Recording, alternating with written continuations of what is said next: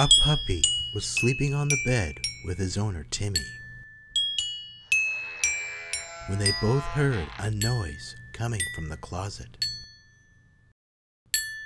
Timmy was scared, so the puppy went to the closet to investigate. The puppy growled when he saw what was inside. It was a big monster.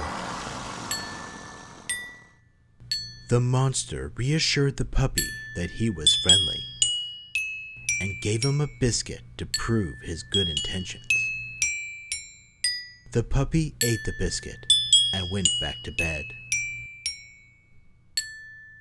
The puppy woke up the next morning to find that Timmy's head had been bitten off in the middle of the night.